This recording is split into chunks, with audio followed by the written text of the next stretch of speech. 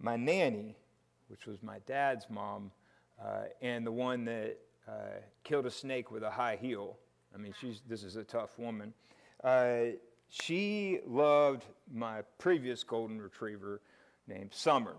Uh, I also loved that dog to the extent that I called this dog Cedar for a long time, not Summer. Um, and then my kids said I had to stop doing that. Summer, yeah, not Summer. So this dog, Cedar, is not the one I really like. So this is, that's not Summer. Okay. Not Summer. Go outside. You got it now? Yeah. yeah. Yeah. I won't do it to anybody. Well, okay, yeah, I'll do it. Where's Bob Millard? Not Linda. Not Linda. Uh, why don't you come help out a little bit? All right, so Not Summer was amazing for a lot of reasons, but why my nanny loved that dog uh, uh, is Summer would not get underfoot. She would talk about that every time she came to visit us, multiple times. This dog is the best dog because she doesn't get underfoot. And of course, uh, when you're in the 80, your 80s, a dog getting underfoot is kind of terrifying. Falling when you're in the 80s, maybe breaking a hip, is a matter of literally life and death. So, not getting in the way made this dog great. My firstborn uh, was uh, one of those, uh, he was a shadow for me for the longest time, like, you know, six inches, uh, like just always right there. And like I was always stepping on him. One of the worst uh, outcomes of that was I was boiling water, and your worst fear, I, I turned, for the sink, and there he was, and you know, got boiling hot water on him. Um, but luckily it didn't, uh, like, he was okay. I'm like, go get in some cold water, kid, hose it off. Now he was fine. Um, and uh, oftentimes uh, with kids, uh, if you're if you ever build things, tools are very exciting. You know, it's not always the most helpful. A bunch of little hands like trying to get involved in like the building pro- does not speed it up. Uh, many hands do not always make like what light work, quick work, light work. No. Um, and uh, so you don't know anything about, yeah, we got a father son here. He's still in the way. Yeah. But, uh, yeah. Um, but of course, uh, sometimes those in the way uh, is, in fact, the most precious part of relationships. Uh, I think I've shared this before, but this is an illustration that you know, I think back on, I hold on to as a reminder when I'm not quite getting it about, wait, no, uh, this kid helping me build, that, that's the point. That's more important than my time, uh, which I often do to see, like, when they're like, this will take about an hour with two people. I'm like, I can beat that with one person. okay, that's probably not, there's no one really that cares. And so maybe it's more important to use this as a time to spend with my kid. So the uh, thing that uh, I think of when I'm blowing it is I was at the Atlanta airport and a whole family had come to pick up uh, their dad, and uh, he's got the luggage, and his daughter, who was about mm, four years old, was uh, shouting, Daddy, Daddy, Daddy and uh, he kind of stepped around her. She was in the way to put the luggage in the car. And I'm like, I'm sending like these vibes, like, you're blowing it, pick her up, hug her, see her. See her as not in the way, but in the way. In the way of uh, what we're called to be, to love. Now, I've done that as well, so I don't want to, uh, well, not the exact same, but it's. Uh, a lesson for us to catch ourselves when sometimes we do that maybe in more subtle ways.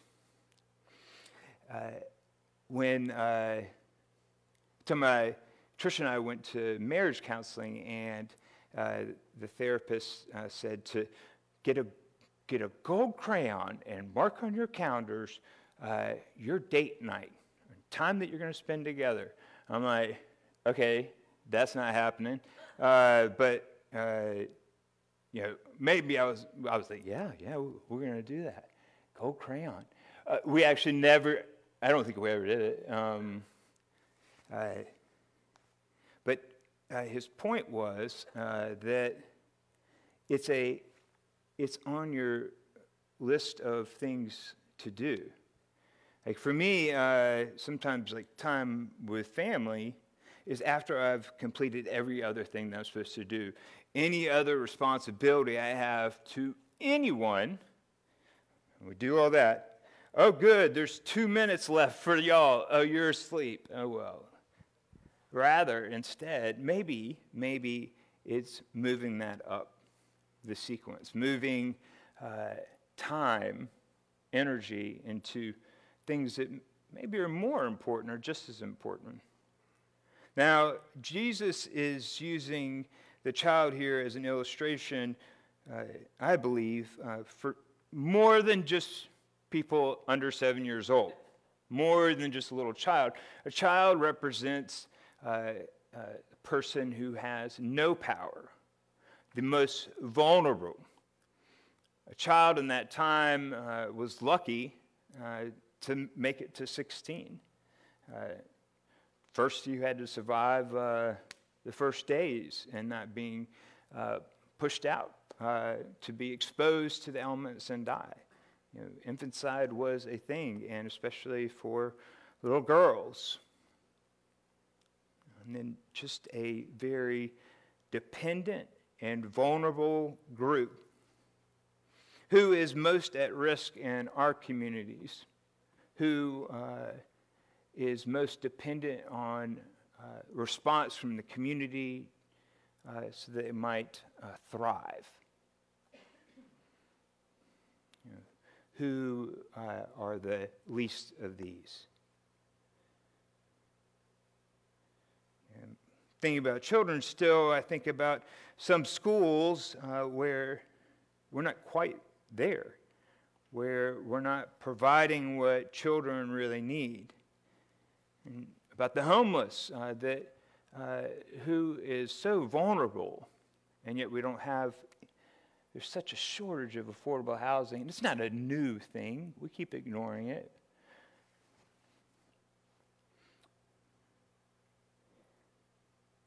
So put that on your calendar with a gold crayon. Now, I'm from South Carolina. I think some of y'all say this too uh, a gold crown. Eh, crayon, crown. I was looking for a box of crowns. One time in Alaska, I had the whole team looking for crowns for like an hour, but they thought it was crowns. And I was like, no, it's crowns. and then, like, I was like, I found them. They're like, those are crayons. I'm like, mm, no, they're not. They're crowns. Well, almost as cool as that underfoot and in the way, the gold crown is the crown, right? That is uh, the treasure uh, in all of this. Because when we receive the child, when we serve, whoever wants to be first must come last and serve all. When we do that, that's when we receive Jesus. And in doing so, receive God who sent Jesus. So that is the gold crown, right? I mean, that's where we're, uh, what could be more rewarding than those two moves? That's the crown. So the things that sometimes seem like obstacles, I don't have time for you, for this. I don't have time uh, to visit you. I know you're sick, and uh, I, but I have uh, a bulletin to revise again. Uh, I have all these things that get in the way. There's three passages uh, in Mark that uh, talk about receiving. And uh, this Greek word, dechomai, is one of my favorite top five Greek words. Uh, and um, because to me, uh, it's, it's a, a way of talking about fall afresh on me you know, to receive. Um, it's, it's yes, it's our yes to this loving God. and, um, but sometimes uh, that's not received. And so in chapter 6, Mark uh, uses the word, uh, he says, when you go to, go to these people, when he sends them out to go to these other towns and to witness, uh, if uh, they do not receive you, if they do not hear you, do not receive or do not hear you, shake the dust off your feet. All right, so when Jesus now brings up receive again, it is uh, in contrast, or let's remember where else they've heard that. And now uh, it's essentially saying, if you don't receive this child, shaking the dust off my feet. Because that means you did not hear me. You are not getting it. And boy, are they not getting it. He just told them the Messiah must suffer and die. And uh, you know, the, the segue there is all right, let's not talk about that. And then, uh, all right, uh, just want to know who the greatest is. It's like, what are you not getting?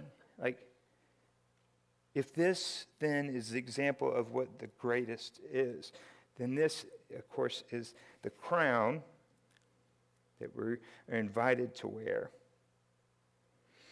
Uh, when you welcome them in the name of the Lord, uh, this morning I'd like us to think about when we hear in the name of the Lord, in the way of the Lord. Surely that's the name is uh, implying this way. The name uh, is emblematic of the way. So uh, when you preached on, when Margaret preached on, uh, this other person is casting out demons in the name of, in your name, and we don't like that. He is not following us. That's hysterical where they go with the, oh, really? You're going to go with uh, first person plural there. You're not following us. In the name of. And had they thought about in the way of Jesus, uh, they might have got it and not had Jesus have to explain to them that whoever's doing this, this is good. You know, if he's not against us, he is for us. If he's doing this in the way, then he can do it in my name all day. That's how Jesus sometimes had to emphasize all day. So, uh, the golden crown. It's where the treasure is.